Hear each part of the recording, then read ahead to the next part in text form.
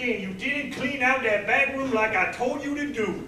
Sorry, boss. Now, don't say you're sorry, just clean it up next time. Don't go apologizing all the time, just clean it up like I asked you to. All right. Sorry, boss. Now you done say sorry two times, that's two apologizings. Just clean the room, just one cleaning, no more apologizing. Okay, okay. Sorry, boss. That's three apologizing, no more What the, sorry. what the hell are you guys doing? It's Black History Month. We're doing some This black is- history. We Yes, I know it's Black I was History. gonna paint his face, but I got the paint. Oh, I want to go in that direction. Now, I thought I would, you know, you invite me as a guest, but you do this kind of crappy, ignorant stuff. What? You know? What? I mean, it's part of a, it's part of a very ignorant time in We're Black just History. out. You know, I think maybe, Keith, Keith, why don't you just go over and play piano? Go. This, with none of this crap.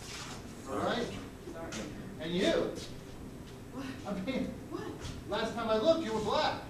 You know? Yeah, you're black. So what are you- what are you doing this I time? just, I just, I just having, I was just having fun with my buddy here. I don't even that fun these days. You gotta be politically correct, you can't be doing this kind of crap. You know, what do you have to say for yourself? Sorry, boss.